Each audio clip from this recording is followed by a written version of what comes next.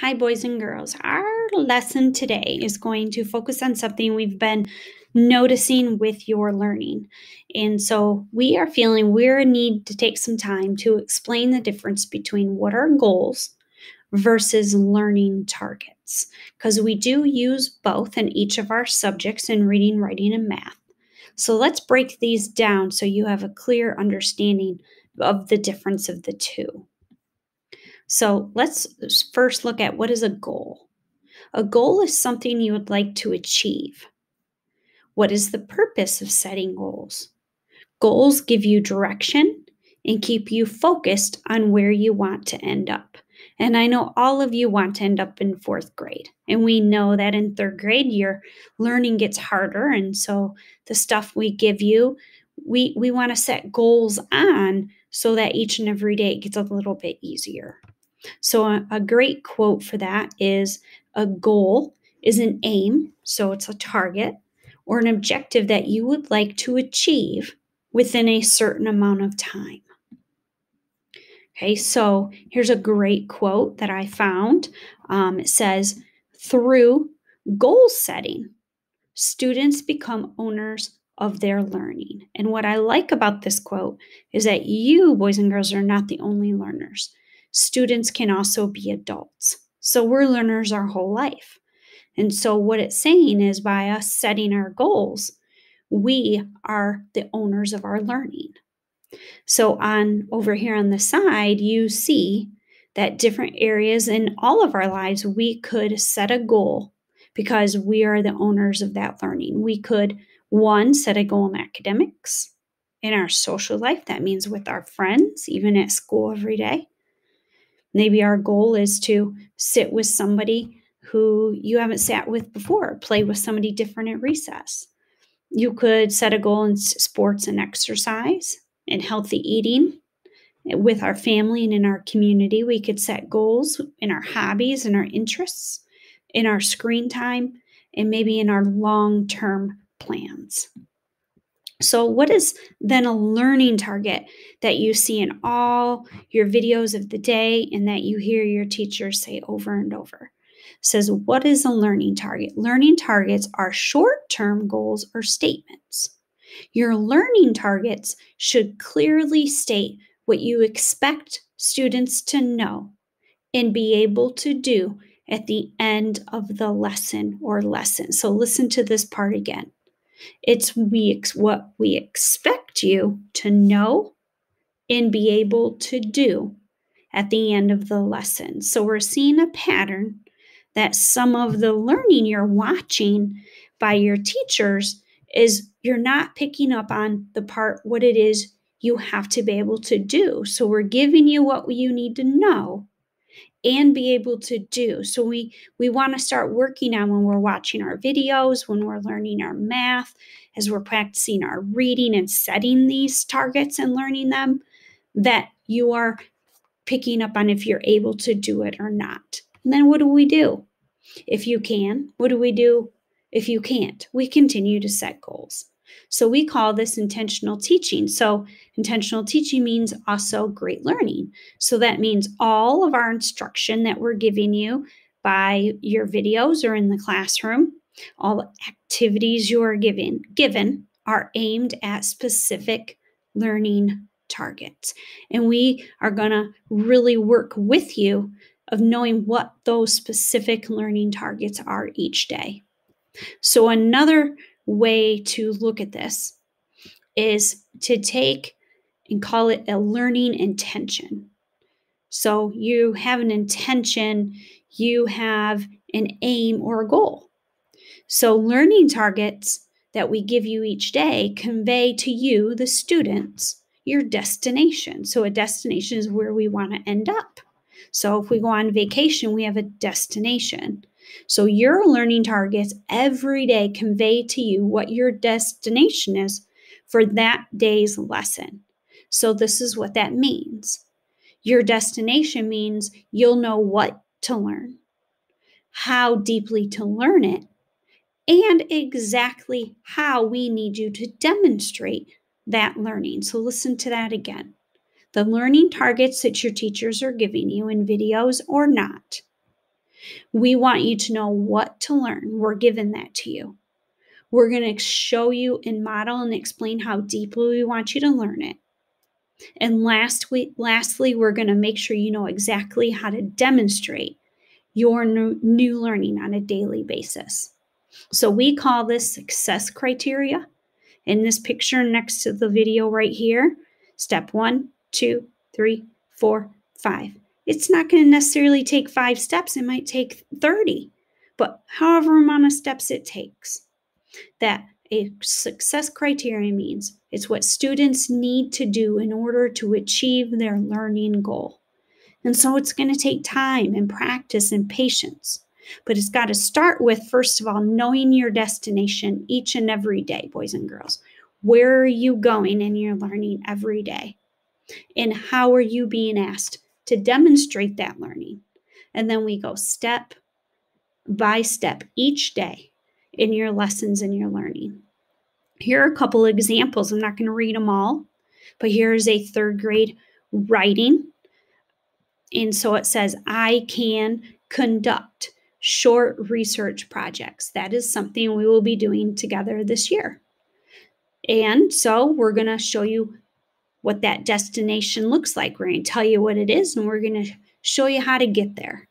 A math one says, I can recognize and create equivalent fractions and show why they are equal.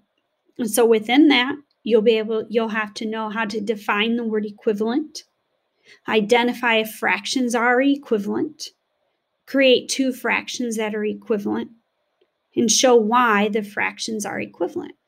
So these very specific targets, we're going to tell you that destination. Here it is.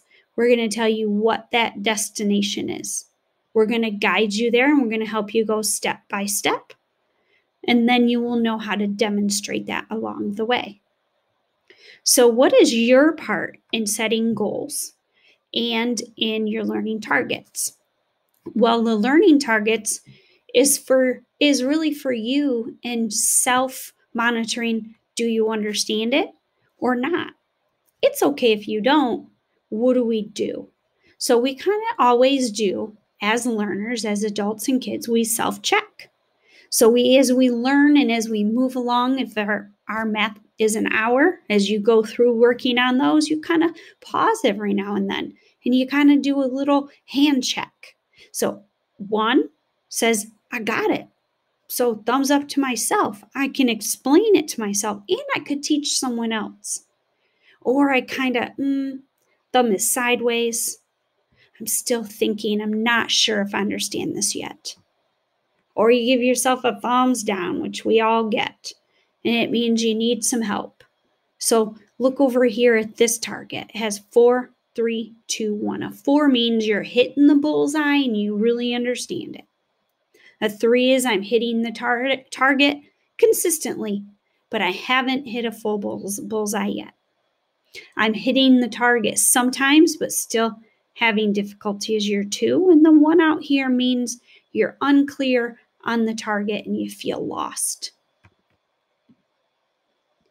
So I see it as these two types of goals that you will be getting from your teachers every day is we have self-made goals which will be on post-its that you use in the classroom every day. You use post-its in your writer's notebook.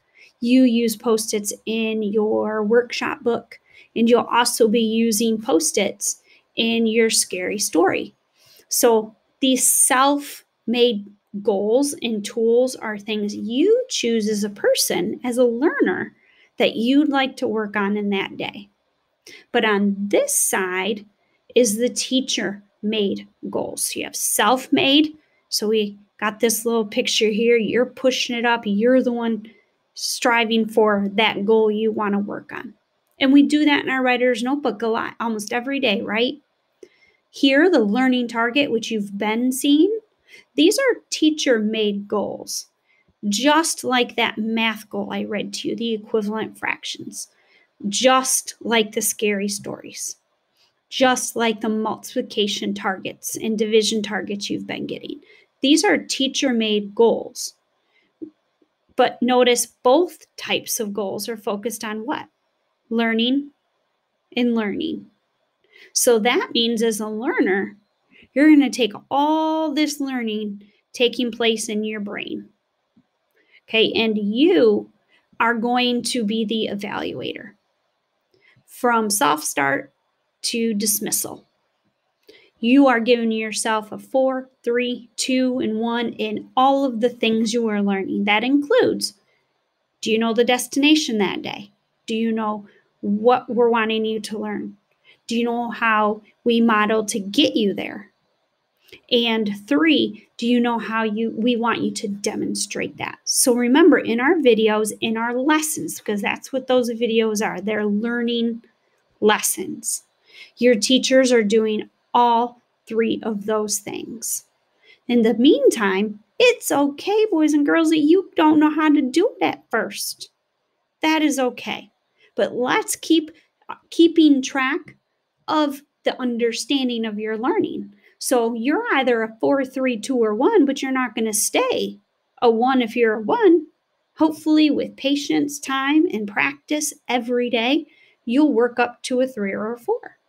So a four means you can show others exactly how to do your learning tar- learning target that your teachers have made for you.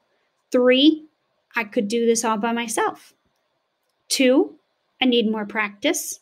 One, I need help. And I love this emoji one.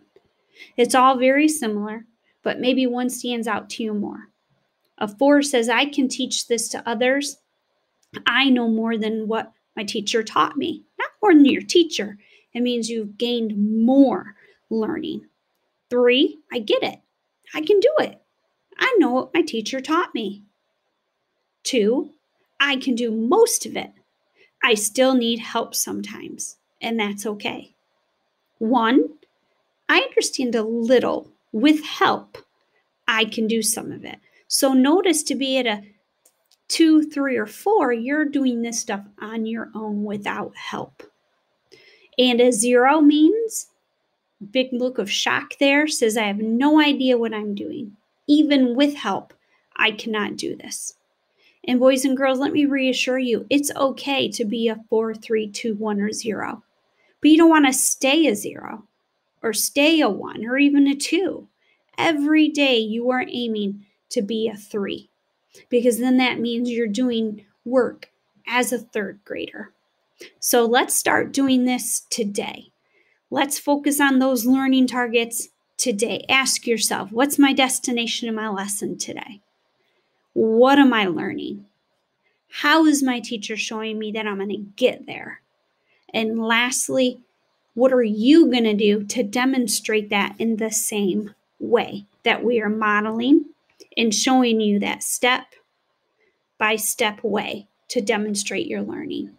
Okay, so good luck today, mathematicians. Good luck today, writers. Good luck today, readers. We know you got this. Work hard, learners. Adios.